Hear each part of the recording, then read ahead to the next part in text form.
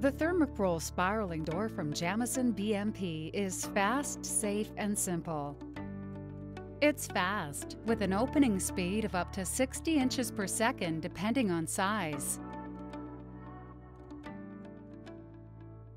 It's safe, using an 8.5 foot high light curtain as standard presence detecting device.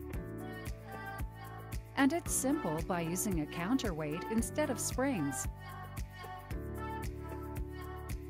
and using a routed groove instead of complex metal tracks.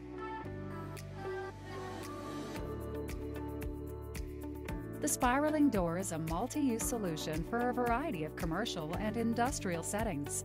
Most features of the spiral door are customizable, including size, height, and type of panels.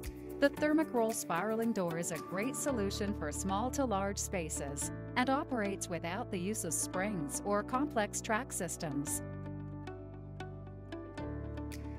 With three header variations, a spiraling door can be created for most headroom clearances. Thermokrol doors can be built for standard headroom and low headroom ceiling heights. The width of spiraling doors is also customizable, and heights can range up to 20 feet. The range of heights and widths allows you to be able to customize solutions to your business. The spiraling door comes in three different panel variations. Solid with insulation, ventilated to allow airflow, or clear. The solid insulated panel fits most settings,